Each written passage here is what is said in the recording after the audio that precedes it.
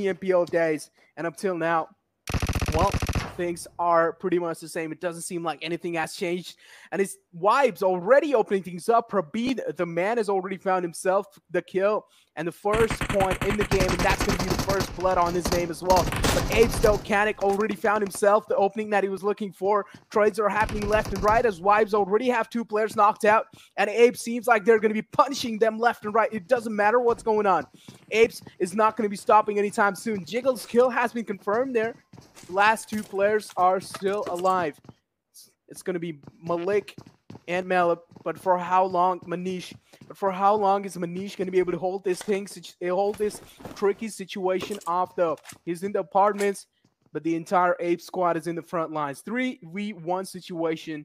Things are not really looking good for Vibes. And th th things like this always make a problem for all these teams. So take a look at TRZ as well. A nade, they're kind of uh, getting the team kill as well. And it seems like TUF now are punishing TRZ as well unfortunate turn of events for a massive team. And TUF, again, punishing TRZ for such kind of rookie mistakes is, of course, going to be a massive factor in the game of PUBG. We have seen in the past as well. Any kind of small mistakes, if you get a nade right on your teammates, and if you have 16 minutes, or rather 16 teams all alive and only five minutes into the game, but it is the map of Miramar where things do end up stretching a little bit. Right here, we can see Team Vibe, the consistent uh, players from day number one, seem to be taking a very slow approach where Manish seems to have just held one thing and that is going to be to get as much information as he can possibly and relay it towards his teammates. Now, as we look on towards the map, it seems like we've got three teams in this area right now. Of course, we were just looking at Vibes Esports, along with which they've got their eyes towards the side of Apes, but there seems to be another team that is in the backlines of Team Vibe for the moment. The push is coming in through. I'm pretty sure Malik is kind of panicking down one by one, stand slowly and steadily. And it doesn't seem like Apes is going to give it up that easily. Ape seems pretty unstoppable up till now. One player was taken down. The opening from the players of Vibes was found, but then Apes just absolutely demolished the entire squad of Vibes one by one, and now Vibes is just down to that one last man surviving. Blood Legion, of course, a squad from the Bangladesh region, probably one of the best squads that they have to offer, does carry a PMPL experience on their back as well.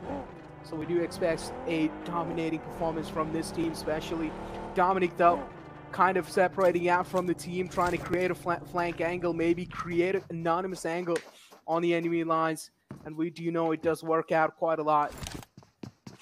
Absolutely. In these sort of situations, you know, creating those flank approaches is the best bet that these teams can possibly rely upon when it comes to, you know, converting a situation like this into your favor. But in that doing so, there needs to be a lot of information that needs to be relayed amongst the team members as well. You know, the synergy needs to be on point for them to be able to understand exactly the kind of push that they're planning on doing. And in that, it is right now, of course, Blood Legion as well as Apes who have the information against each other. Though Manish is the one lad I believe who was alive uh, from the side of Team Vibe, who is still sticking very close to Blood Legion, but has not yet given away his position.